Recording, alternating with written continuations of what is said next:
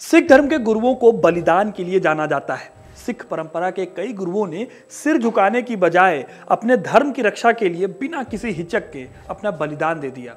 फिर चाहे वो सिख गुरु अर्जन देव हों या फिर गुरु तेग बहादुर, इसी कड़ी में एक ऐसे सिख गुरु भी हुए जिन्होंने सिखों को अधर्म से लड़ने का तरीका भी बताया। सिखों को एक वीर लड़ाका कौम बनाया और धर्म की रक्षा के लिए खालसा पंथ बनाया। ये गुरु कोई और नहीं, बल्कि नौवे गुरु गुरु तेग बहादुर के पुत्र और सिखों के आखिरी और दसवें गुरु गुरु गोविंद सिंह जी थे, जिन्होंने धर्म की रक्षा करने के प्रयास में अपने पूरे परिवार को खो दिया, लेकिन वो कभी भी झुके नहीं। आज हम गुरु गोविंद सिंह के इसी बलिदान की कहानी को जानेंगे, कैसे उन्होंने मुगलों को धूल चटाई और फिर इन्हीं मुगलों के धोखे की वजह से कैसे उनका पूरा परिवार खत्म कर दिया गया। तो वीडियो को पूरा देखिएगा, क्योंकि अपना इतिहास नहीं जानोगे तो खुद को कैसे पहचानोगे? गुरु गोविंद सिंह का जन्म आज के पटना साहिब में हुआ था, जो कि पटना, बिहार में है। बचपन से ही उन्होंने पढ़ाई लिखाई के साथ साथ घुड़सवारी, बंदूक चलाना और सैन्य कौशल के नियम सीखने शुरू कर दिए थे। लेकिन इसी बीच एक बड़ी दुर्घटना हो जाती है। 11 नवंबर सन 1675 को जब गुरु गोविंद सिंह जी सिर्फ़ 9 साल के थे, तब उनके पिता गुरु तेग बहादुर जी का कटा हुआ सिर अंतिम संस्कार के लिए आनंदपुर साहिब में लाया गया था। इस घटना ने उनकी ज़िंदगी को बदल कर रख दिया था। इसके बाद 29 मार्च 1676 को गोविंद सिंह सिखों के दसवें गुरु घोषित हुए। गुरु गोविंद सिंह जी को पता था कि अभी भी सिख धर्म पर मुगल बादशाहत की टेढ़ी नज़र है। इसलिए जैसे जैसे वो बड़े हुए, उन्होंने अपने धर्म की रक्षा के लिए उपाय करने भी शुरू कर दिए थे। गुरु गोविंद सिंह का बचपन पटना साहिब में बीता था। यहाँ वो हिंदी पंजाबी सीखने के साथ साथ घुड़सवारी, बंदूक चलाना और आर्मी ट्रेनिंग से भी गुजर रहे थे। जब वो गुरु बनाए गए तो उन्हें अरबी, फारसी और संस्कृत भी पढ़ाई गई। जल्दी ही वो शस्त्र और शास्त्र दोनों कलाओं में पारंगत हो गए। उन्हें लगभग सभी धर्मों का ज्ञान था। ज़्यादा से ज़्यादा लोगों तक अपनी शिक्षाओं को पहुँचाने के लिए उन्होंने चार भाषाओं में कविता लिखना शुरू कर दिया। गोविंद सिंह जी जैसे जैसे बड़े हुए, उन्हें समझ आया कि एकता तभी स्थापित हो सकती है जब लोगों को बराबरी का दर्जा दिया जाए। साल 1699 में बैशाखी के त्यौहार में उन्होंने अपने शिष्यों को आनंदपुर में जमा किया और वहाँ भीड़ में उन्होंने ऐलान किया कि पाँच ऐसे लोग आ जाएँ जो धर्म की रक्षा के लिए अपनी जान दे सकते हो। ये सुनकर सबसे पहले लाहौर के दयाराम गुरु आए। गुरु गोविंद सिंह जी उन्हें एक तंबू में ले गए और कुछ देर बाद वो खून से सनी तलवार लेकर बाहर आए। ऐसे ही एक एक करके उन्होंने पाँच लोगों को तंबू ले जाकर उनकी बलि दे दी। तलवार में खून देखकर सबको यही लगा कि सबकी बलि दे दी गई है, लेकिन ऐसा हुआ नहीं। थोड़ी देर बाद गुरु इन पाँचों को केसरिया कपड़ों के साथ पगड़ी पहनाकर सबके सामने ले आए। यानी वो सबके साहस की परीक्षा ले रहे थे। गोविंद सिंह जी ने इन्हें पंज प्यारे कहा। ये पाँचों लोग अलग अलग हिंदू जातियों से थे, यानी कि सबके टाइटल भी अलग अलग थे। लेकिन उन्होंने सबके टाइटल बदल कर सिंह कर दिया, यानी कि शेर। गुरु ने कहा कि शुभ कर्मंते कबो न टरो। मतलब अच्छे काम कभी नहीं छोड़ना है। और यहीं से शुरुआत हुई खालसा पंथ की, जिसका मतलब था खालिस, यानी कि पवित्र। खालसा के लिए पाँच नियम बनाए गए, जिनका पहला शब्द का से शुरू होता था। इसलिए इन्हें पंच ककार कहा गया। केश, कंघा, कड़ा, कच्छा और कृपाण। गुरु गोविंद सिंह ने सैन्य दल का गठन भी किया, हथियारों का निर्माण करवाया और युवकों को युद्ध कला का प्रशिक्षण दिया, क्योंकि उनको लगता था कि केवल संगठन से काम नहीं बनेगा, सैन्य संगठन बनाना होगा, ताकि समुदाय और धर्म की रक्षा की जा सके। उन्होंने खालसा का नारा भी दिया। वाहे गुरु जी का खालसा, वाहे गुरु जी की फतेह।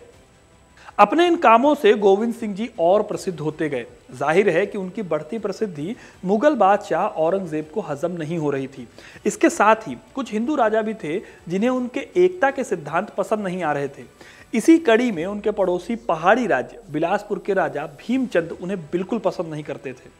फिर थक हार कर राजा भीमचंद के बेटे और वारिस अजमेर चंद ने दक्षिण जाकर औरंगज़ेब से मुलाकात की और गुरु गोविंद सिंह को रास्ते से हटाने के लिए उनसे मदद मांगी। फिर औरंगज़ेब ने धमकी भरा लेटर लिखा, जिसका मतलब था, इस्लाम को मान लो और मेरी सत्ता को चैलेंज ना करो, नहीं तो युद्ध होना तय है। औरंगज़ेब की इस धमकी से बिना डरे गुरु गोविंद सिंह जी ने वो मशहूर लेटर लिखा, जिसे इतिहास में जफरनामा कहा जाता है। गुरु ने लिखा कि दुनिया में सिर्फ़ एक सर्वशक्तिमान ईश्वर है, लेकिन आप इसको नहीं मानते और लोगों के प्रति भेदभाव करते हैं और उन्हें नुकसान पहुँचाने की कोशिश करते हैं, जिनका धर्म आपसे अलग है। हमारे और आपके बीच शांति कैसे हो सकती है, जब मेरे और आपके रास्ते अलग हैं? इस लेटर को पढ़ने के बाद औरंगज़ेब ने पहाड़ी राजाओं के साथ मिलकर आनंदपुर साहिब पर हमला करवा दिया। सरहिंद के गवर्नर वज़ीर खान अपनी सेना लेकर आगे बढ़ा। इधर गुरुजी ने भी अपनी सेना को तैयार करने का हुक्म दिया। मुगलों की सेना बहुत ज़्यादा थी, इसलिए उन्होंने किले के अंदर ही रहकर लड़ने में भलाई समझी। जब युद्ध शुरू हुआ तो इसका फ़ायदा भी मिला। मुगल सैनिकों को निशाना बनाकर सिख तोपचियों ने जमकर निशाना लगाया और पहले दिन करीब 900 मुगल मार दिए। दूसरे दिन खुद गुरु गोविंद सिंह जी लड़ाई में शामिल हो गए। उनको लड़ता देख सिख दो गुने जोश से भर गए। इस दिन भी सैकड़ों मुगल मारे गए थे। मुगलों की हार हुई थी, इसलिए मुगल सेना ने किले की घेराबंदी कर दी। ताकि जब अनाज खत्म हो तो भूख से परेशान होकर सिख मुगलों की अधीनता को मान ले। लेकिन किले में महीनों तक अनाज खत्म ही नहीं हुआ। आखिरकार जब अनाज खत्म होने लगा तो किले में भुखमरी की नौबत आ गई।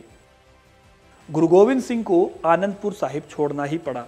सिखों के पहले जत्थे में महिलाएँ, बच्चे, गुरु की माँ और चार बेटे भी शामिल थे। लेकिन सरसा नदी के पास इस जत्थे पर मुगल सैनिकों ने हमला बोल दिया। इस लड़ाई में कई लोग मारे गए, जिसमें गुरु गोविंद सिंह जी की माँ और उनके दो छोटे बच्चे जोरावर सिंह और फतेह सिंह भी शामिल थे। इस लड़ाई में सिख सिर्फ़ 40 बच गए थे, लेकिन गुरु गोविंद सिंह जी वो थे जिन्होंने कहा था, सवा लाख से एक लड़ावा चिड़ियनते में बाज लड़ावा, तबे गुरु गोविंद सिंह जी नाम कहावा। यानी कि उन्होंने हार नहीं मानी और अपने बाकी बेटों को लेकर किसी तरह चमकौर पहुँचने में कामयाब हो गए। फिर चमकौर में भी उनका मुगलों से सामना हुआ। यहाँ पर उनके पंच प्यारों में मोहकम सिंह और हिम्मत सिंह मारे गए। उनके बाकी दो बेटों, अजीत सिंह और जुझार सिंह की भी यहाँ पर हत्या कर दी गई। फिर नाभा में रहते हुए गुरु गोविंद सिंह ने औरंगज़ेब को फारसी में एक पत्र लिखा। इसमें उन्होंने धोखे से हमला किए जाने के लिए औरंगज़ेब को दोषी ठहराया।